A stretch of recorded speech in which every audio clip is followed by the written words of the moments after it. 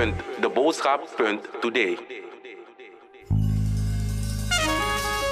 LVV-werkgroep bezoekt Resort Zuidwest Mungo. In navolging van het recente bezoek van minister Rabin Parmisser van Landbouw, Veeteelt en Visserij aan het district Marowijnen, resortgebied Zuidwest Mungo, heeft een werkgroep van LVV samen met de districtscommissaris Kenya Panza een ontmoeting gehad met de lokale agrariërs. Dit vond plaats op dinsdag 18 februari 2020.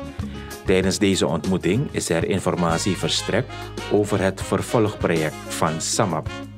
Het Suriname Market Access Program, SAMAP, heeft aan agrariërs de mogelijkheid geboden om ten behoeve van hun onderneming zich in te schrijven voor een grote en kleine grant.